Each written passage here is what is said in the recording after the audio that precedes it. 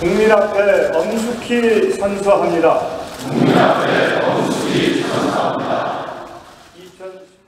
이제는 성년을 맞이한 국회가 성숙하고 신뢰받는 국회로 거듭나 국가와 국민의 미래를 책임지는 기관으로 위상과 역할을 확립해야 하겠습니다. 국회가 협조를 해 주신다면 기업 구조 조정과 구조 개혁을 성공적으로 완수하고 경제 재도약의 기반을 튼튼하게 다질 수 있을 것입니다.